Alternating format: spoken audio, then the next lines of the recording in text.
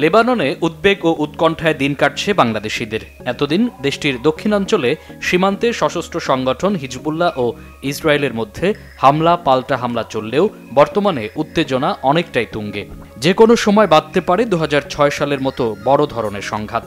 গেল সপ্তাহে বৈরুতের দাহি এলাকায় ইসরায়েলের আক্রমণে হিজবুল্লাহর একজন শীর্ষ কমান্ডার নিহত হওয়ার পরেই বাড়ে উত্তেজনা। চলছে হামলা ও পাল্টা হামলা। বৈরুতের আকাশেও দেখা যাচ্ছে ইসরায়েলের যুদ্ধ বিমান এতে উদ্বিগ্ন প্রবাসী বাংলাদেশিরা ও তাদের পরিবার। ফোন করে নিচ্ছে খোঁজ খবর।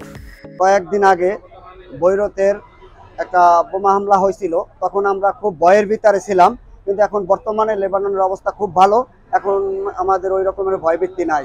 বিভিন্ন মিডিয়াতে খবরগুলো দেখে পরিবারে আমাদের জিজ্ঞাসা করতেছে যে কোনো সমস্যা নাকি? আসলে আমরা কোনো সমস্যা নাই না বলো আমরা অনেক ভালো আছি।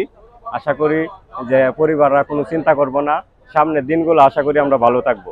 উত্তেজনার কারণে দেশটিতে অবস্থিত বাংলাদেশ দূতাবাসও তাদের অফিস সময়সূচি পরিবর্তন করেছে। সকাল সাড়ে নয়টা থেকে দুপুর একটা পর্যন্ত সেবা গ্রহণ চলবে বলে দূতাবাস এক বিজ্ঞপ্তিতে জানায়। মোটামুটি আল্লাহ রহমতে আমরা ভালো আছি কাজ কামে যাইতেছি আসতেছি কাজ কাম আমরা করতেছি। ওরকম সমস্যা বর্তমান অত ওরকম কিছু নাই কিন্তু নেক্সট টাইমে কি হবে না হবে আমরা সঠিক এটা জানি না। লেবাননে এখন অনেক নতুন বাংলাদেশি আসছে। এখন যদি যুদ্ধ লাগে, আমাদের সবারই ক্ষয়ক্ষতি হইব। তো আমরা যুদ্ধ চাই না, আমরা চাই শান্তি। তবে সংঘাতের প্রভাব এখনও পড়েনি রাজধানী বৈরুত সহ অন্যান্য জেলা শহরে। আগের মতোই স্বাভাবিক নিয়মে চলছে অফিস আদালত, শিক্ষা প্রতিষ্ঠান সহ ব্যবসা বাণিজ্য। বাংলাদেশিরাও স্বাভাবিক নিয়মেই নিরাপদে পূর্বের মতোই কাজ করছে। তবে সংঘাত আরও বাড়লে পরিস্থিতির অবনতি আশঙ্কা করছে স্থানীয় অধিবাসী সহ দেশটিতে থাকা লক্ষাধিক বাংলাদেশি।